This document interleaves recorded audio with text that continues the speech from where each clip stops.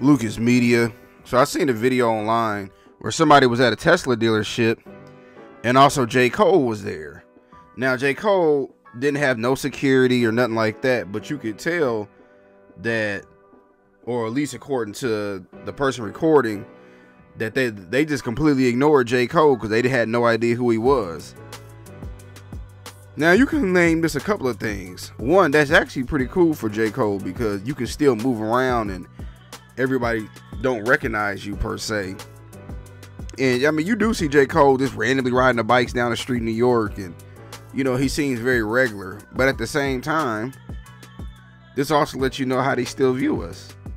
You know, they he, got dreads and you know a certain kind of look about himself, and people automatically misjudge him. Oh, he may not have no money. You know, or oh he ain't in he ain't in here trying to buy nothing. And while you looking at this one customer, J. Cole could probably buy every car up in there. You know, this man probably worth a hundred million dollars, and you ain't even paying no attention. He in there look, looking at a truck. He should have been the first person. You know, oh Jay, J. Cole, can you can you take a picture with this Tesla real quick? That would have helped your sales.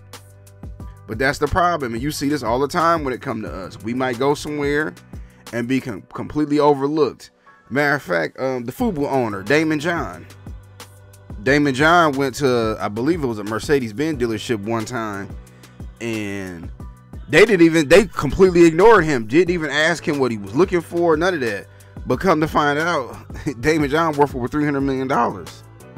So you can never judge a book by its cover, you know. And and I'm sure that they was embarrassed and go have a talking to, and that y'all they didn't mess up good publicity. But this is what they do. But listen, I ain't got no problem with J. Cole, man, doing what he doing, moving in silence, and I'm sure he'll get a Tesla, just maybe not from there. But I just want to give my quick thoughts about it. what y'all think?